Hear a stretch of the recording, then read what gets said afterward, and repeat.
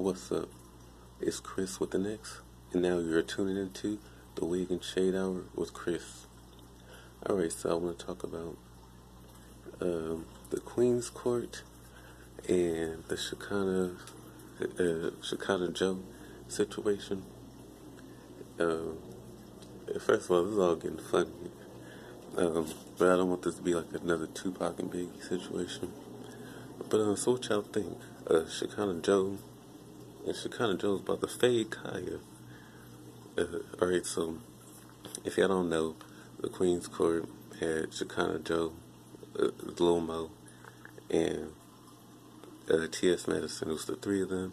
Like about last Monday, they was on the um, the new Queen's Court, the Monday, the nineteenth one, and uh, so they was, I guess they was roasting people, and then Khia, Khia had her uh, her uh, live and out loud thing, gag order, and then she's supposed to be coming out with the uh, the next caller music video, and so uh, so people was telling Khia about T.S. Madison show, so then uh, Khia was roasting them, and uh, I guess they was T.S. Madison said they was gonna mention Khia, but then uh, they got her page. Somebody deleted her page, her Instagram. They tried to delete, delete her YouTube, and then um, so then uh, Khia said something about she was uh, uh um, that she know where T.S. Madison mama, her and her mama stay. So then, uh, so then Khia was at the um, the Ivory uh, Court or Ivory something, the nightclub, uh, doing her live thing with um with the, the ATA alien chick that they be calling Uncle Gary or uh, whatever, the one from straight from the A. So then, this Shekinah Jo came uh, and was looking for Kyrie.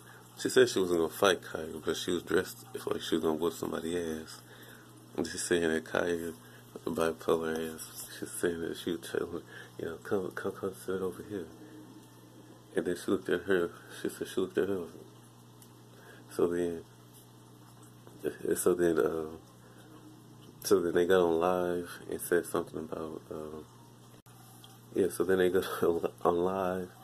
Uh, T.S. Madison, Shekinah Jo, saying uh, T.S. Madison said that she was she ain't gonna hit no woman, but um, I don't know. I guess she's saying Shekinah Jo, a, a, a, a woman to go uh, place hands on Khia. So then Khia get on her live talking about Shekinah Jo was uh, 50 feet away and she going uh, she knew not to hit the queen and all that shit. And so um, I don't know.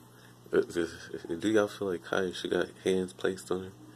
Because then, um, uh, how do you call it? Um, then Shekinah Jo, after the, after the Queen's Court, then uh, Trina's assistant called um, T.S. Madison to address some stuff like why would you have Khia on uh, if you're a fan of, of Trina, why would you have Khia?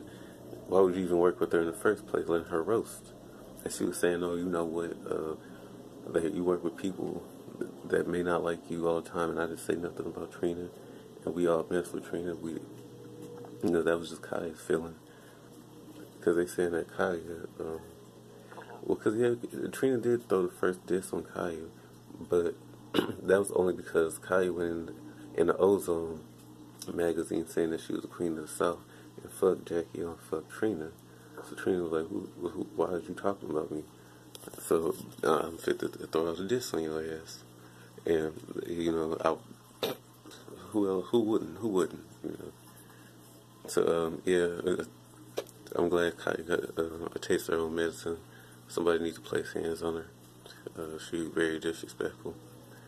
But um, of course, you got them hood rat Bompton, Compton, the Compton um, fans of her, you know. And a lot of people have, uh, like T.S. Madison finally roasted her. You know, you had, you had, uh, you know, big chances, opportunities to work with people, but then you, your mouth have ruined all that because women are you saying that you don't want to uh, be all Hollywood. The next minute you have be in Hollywood.